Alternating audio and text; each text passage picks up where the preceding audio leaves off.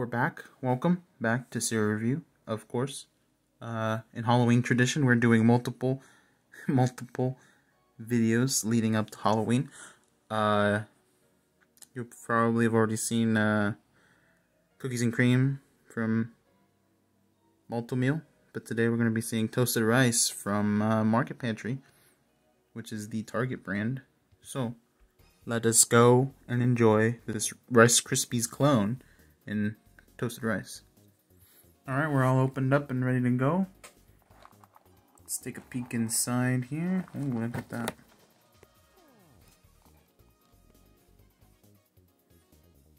Look at all those toasted rice pieces. That looks pretty good. The uh, camera doesn't know what to focus on, so it's changing colors.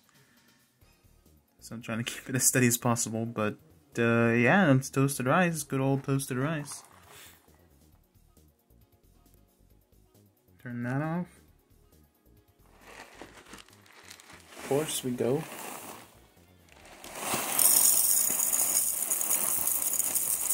Yes, I'm a I'm a degenerate for spoon first, but hey, who cares, you know?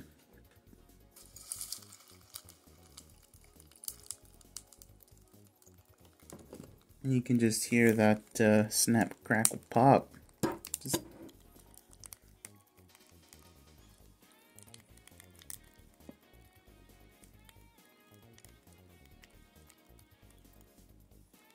Hopefully it's picking it up, but that really is a pretty good snap, crackle, pop, you know? Like a Rice Krispies type shit. Alright, time for the taste test. And Unfortunately,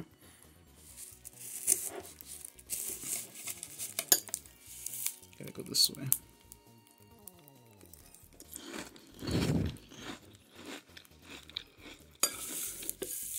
Go on old school taste test style.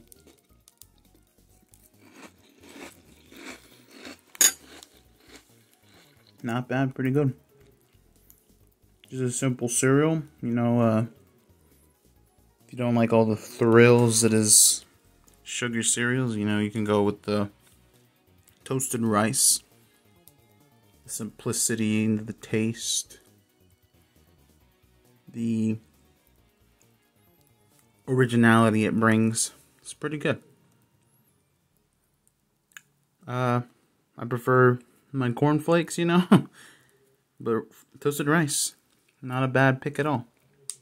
It's like those, uh, it's like I always go back to fucking uh I'm blanking on the name. Wow.